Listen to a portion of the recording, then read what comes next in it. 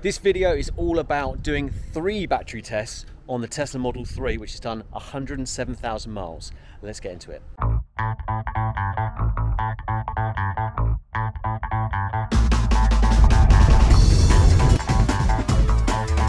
So here she is. She's a beaut, isn't she?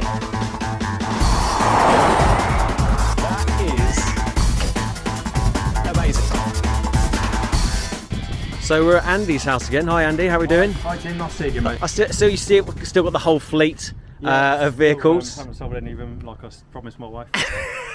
Oh, I know that feeling. Unfortunately, I lost the video, but it was actually Andy that won the competition for the free uh, springs and suspension. So, is it on the car already? it is on the car, so it is actually slightly lower than it was. Nice, nice. Because it, it being the stealth model, it looked a little higher because Yeah. it didn't have the performance suspension.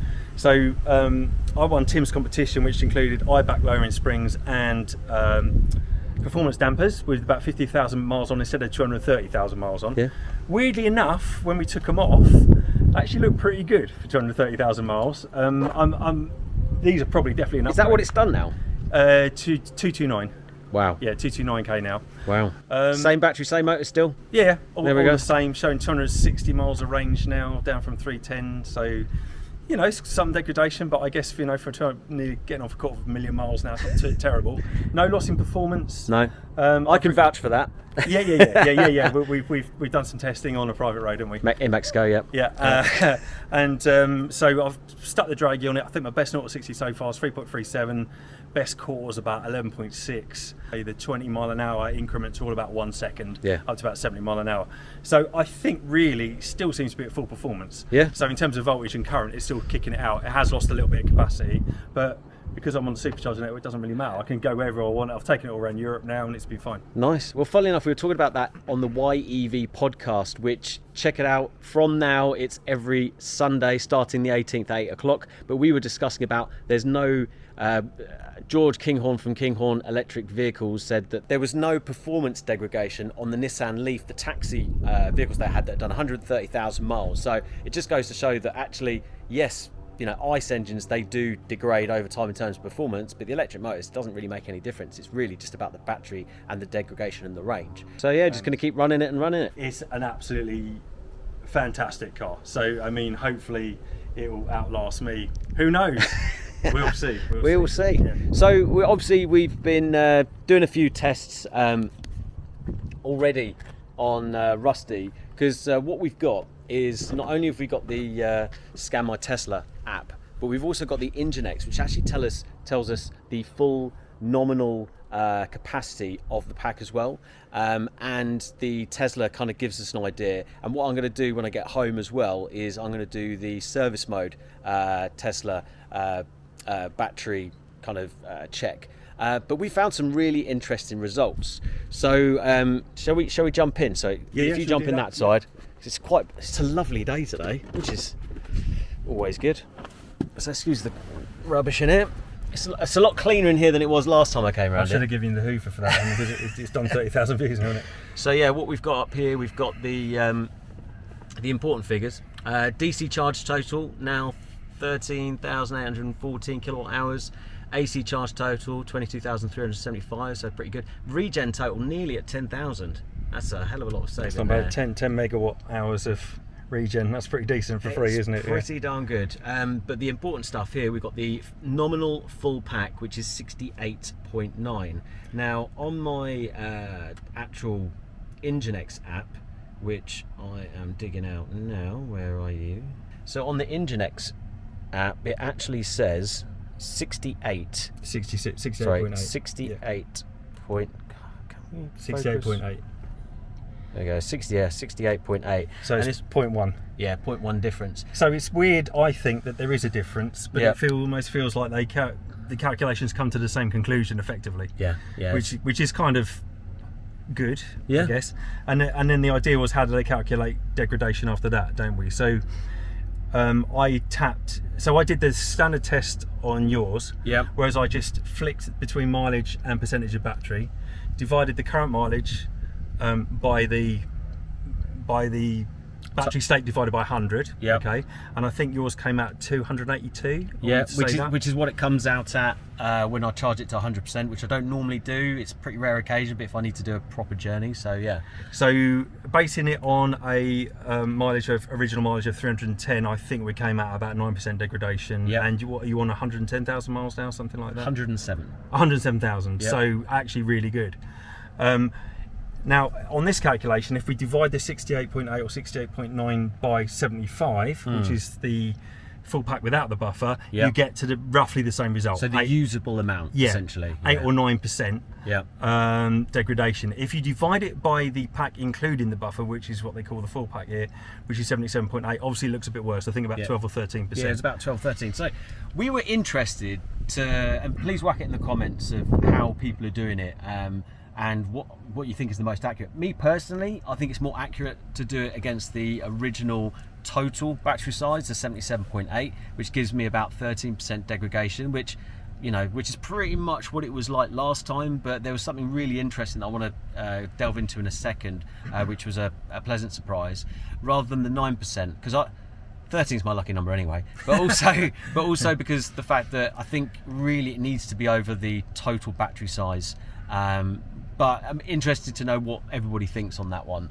Um, but something that something that the uh, Nginx doesn't show, but it is really really handy the fact that the Nginx does show the uh, full nominal kilowatt hour because you don't need to plug it into the uh, plug down there. So it's another benefit of the Nginx. But I'm going to be doing a Nginx video soon, um, going into the detail and the pros and cons of that. So uh, yeah, keep keep uh, yeah keep on tender hooks for that one. Um, but something that uh, Andy's Cell imbalance there. yeah, it's the cell imbalance. Now we looked back at the result last time, and the cell imbalance on the uh, on the car and the temperature. What was it about?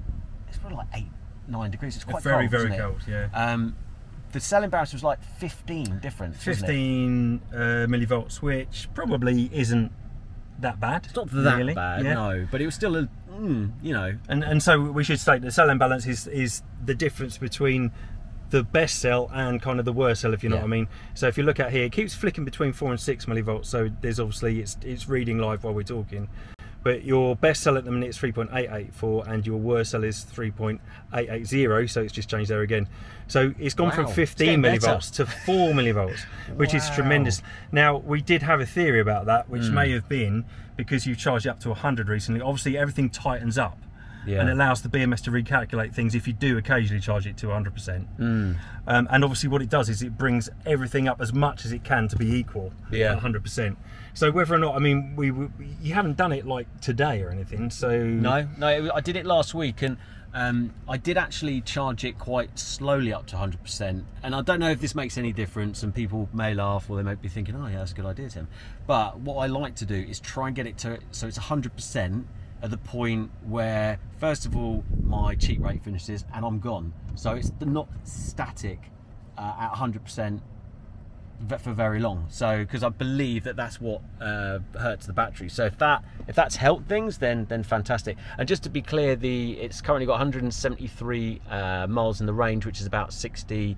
Uh, well, 61, 61, yeah, 62. which is which is correct. 61.6% at the moment. So, so that was really interesting. Um, it would be very interesting based on these results. Now I know the fact that okay, how is the Tesla service mode uh, version of the battery degradation test? How is it going to see it? Is it going to be nearer to nine or is it going to be nearer to thirteen? So I think that would be the ultimate test of uh, what it's going to look like. My guess. I bet, I'm I'm, sure I'm, it was I'm gonna, worse. I'm gonna bet on nine. See- Pu- purely because the mileage there kind of indicates that Yeah. it's thinking nine. And, and of course, when you get to zero, it doesn't start going to negative mileage. So when you No. get to zero miles on here, like you say, you still got about three kilowatt hours left in the battery as an emergency reserve. Yeah. So I, I think that mileage doesn't take that into account. So I think I'm, I'm erring on the side that it's probably going to say. But who knows? Until we, you do it, we won't- know for sure. And do you know what? I would initially have said that because it kind of looks better when tested to do it. Yeah. However, I'm pretty sure I, I vaguely remember, and I've forgotten, I didn't watch it on the video. But uh, again, the video of the test where we showed how to connect and everything else, I'll put it up here uh, for last time we did it. Um, and also there was another one where we did the Tesla service mode, but this is the all-in-one version. So uh, yeah, because it did a really, really, you know, the response was really good, but I thought it would be uh, be good to do it now. It's done another 10,000 miles and it's warmer. Um, so yeah, But that is the other really interesting thing that um, we've noticed here. It's now saying nominal full pack agrees the Engine and the Scan My Tesla. Within 0.1 of, you know, within 100 watt hours, Yeah. they are saying the same thing 68.8, 68.9, which has gone up since last we tested it because I think it said 66, if I remember rightly, yeah. on the last video. Oh, okay. So that does make me I'll think put it at the bottom, bottom of the screen. I'll, I'll double check and I'll put it at the bottom of the screen. So maybe that does make me think temperature is ta- is affecting the result because when you came here last time it was brass monkeys. It was. We've come here today and it's it's really hot. It is pretty hot. and Uh, I didn't think that would make a 26 difference. degrees in the Tesla, or just outside apparently. Yeah, so we're looking at about a 20 degree difference between the, the time we tested. What's that nominal remaining? Is that oh that's so that's just multiplied by the state of Yeah, charge. yeah, yeah, cool. So Okay. multiplied by 0.62. Cool. But um, I'm keen, Andy, on before I go home, and thank you so much for uh, taking time out your day to doing mate. this. Um, I'm going to obviously go and do the Tesla version. It's going to make lots of noise, and I'll probably mess it up again. Um, but yeah, I just really want to go and see your Porsche again. It's really dusty. I didn't know you were going to photograph Well, it. if anyone hasn't watched that video, go back and watch the video of the Tesla powered 911 Porsche. Uh, really good video, shows it in action, and you know, Andy's got a bit of history, a bit of EV conversion Uh, history. Chris did a massive video on it. I don't know if you saw it. There was a Felton video on the whole history of the thing and the Electron show. So if you, I can't remember what channel it was on. It was on some we don't, we don't need to worry about those channels. No, no, no. Yeah, I, I should. It's just no, because it's, Chris did it. it's um, it would have been on uh, out of spec, out of spec. That was it. Yeah, Felton yeah. promoted it through their thingy, and uh, that that gave there was loads of info I didn't know about it in there, but it Okay. yeah, it gave a bit of history behind, behind the Yeah, electron out spec with Jerome. Jerome's been on the channel a few times before, so go and check that out as well. Um, you know, it's all part of the family, the EV conversion, EV modified family. It's all about trying to grow the scene, you know. So, so Last thing I just wanted to say, mate, if that's all right, I was just looking at charge cycles, weren't we? Early six six seven. So it's only six six seven. not that many. So they're Ah. saying fifteen hundred. You can get so Wow. just under three times the mileage here, which is going to put you in about a quarter of a million miles, I suppose. Which Well, sixty. 107 times. Yeah, I'm, I'm thinking. that's- I'm thinking fast there. So it's not quite a third. So fifteen hundred. I think it's going to get. I think. I think that's a three hundred thousand plus uh, vehicle. It might. Uh, I mean, it probably is. Well, the- yours is doing fine, and it's you know it's done nearly Two- two hundred thirty thousand, 200 mate. Yeah, two two nine and change So- now. Yeah, so it's, Cool. it's getting there. Yeah. Wicked. Thanks, mate. No And, worries, uh, mate. Yeah, let's good go to see and, you. uh, for the next stage. Right. So it's been a few days, probably nearly a week actually, since I last did the test. Um, but the thing with the Tesla test, which I'm just about to do now, is it takes 24 hours. So I had to find a time where I wasn't using Rustee behind me, the Tesla, uh, for at least 24 hours. Now we've got to that point. So what we need to just double check, first of all, that the battery is under 50%, which it is, it's about 14%, that we've got our AC connection plugged in, um, and see if I can remember how to do this now. So what we need to do is we press the software button down here, and then we press and hold the Model 3 button. As you can see, nearly 107,500. Press and hold Model 3. Then release. Service. Enter. Uh, service mode should be enabled by service personnel to service. Yep, we caution do not enable service on public roads. No, we're all good. So enable. There we go. We know we're in service mode because it's got the red uh, sort of border and it says service mode up there. So load disk space, freeze space to restore functionality. How do you? That's an interesting one. I'll look that up later. So we want to go to HV system. I think it's that one, isn't it? There we go. HV system. Battery health was 86% last time. I remember that. Can you yeah, zoom in? Yeah. So we're going to do another health test. Last measured 165 days ago. Hopefully you can see that. So it was 165 days ago. It was 86%. Now, bear in mind I've done a little bit of bit of a journey since then. So what do we do again? Right signal. Press brake down for eight seconds. One, two, three, four, five, six, seven, eight. Pretty much. Go. There we go. So health test. Bang. Oh, hang on a minute. I'm not sure if it'll do it. I'm gonna need to go back because I need to just double check that all the functionality, all the everything was off. Everything had to be off last time. Turn the schedule. Turn that off. Controls. No. Sentry mode. Here we go. I'll make sure sentry mode's off. Just need to make sure everything is off. Sentry mode's off. Good. We need to make sure the cabin overheat protection is off, which is fine now because we're in we're in the shade, so that should be cool. So I think we're good to go. So let's go back service mode. Here we go. So we're ready to start this. We're ready to start this party. Let's run it.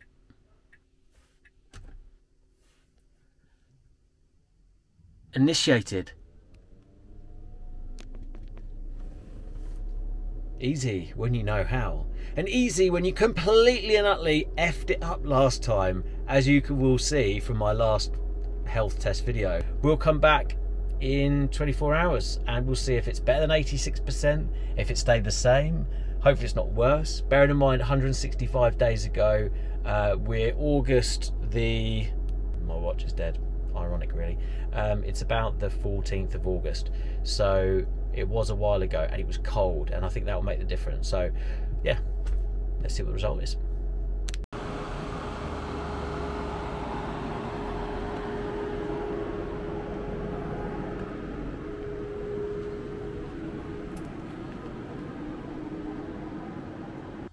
It stopped.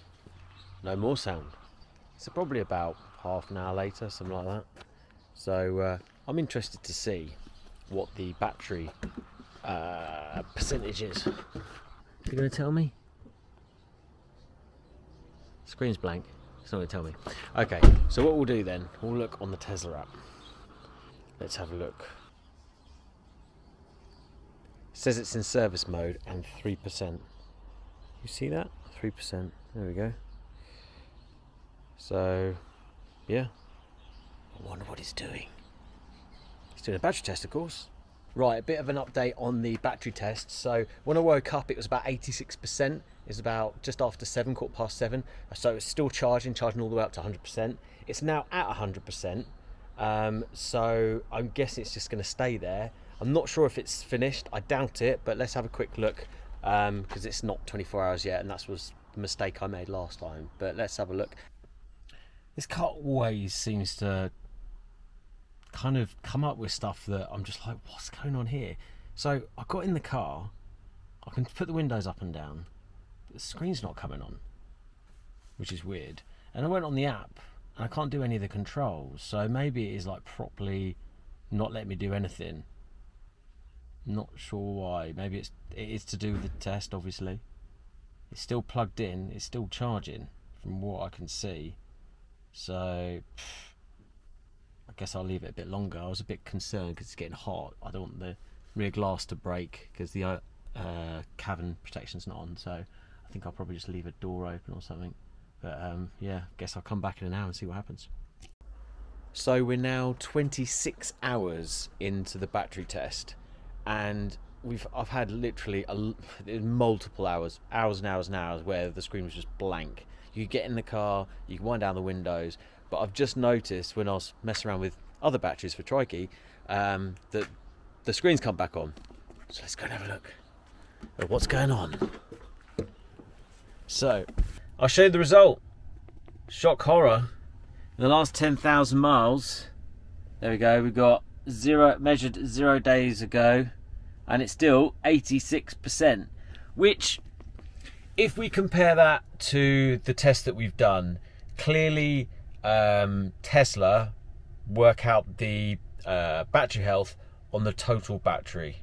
So it'd be interesting to find out how people are getting their results. Is it on their available or is it on their um, total? So going by total, Tesla says 13, sorry 14, and the other Tesla we did is about 13. So good news is it hasn't changed the last 10,000 miles. So happy days.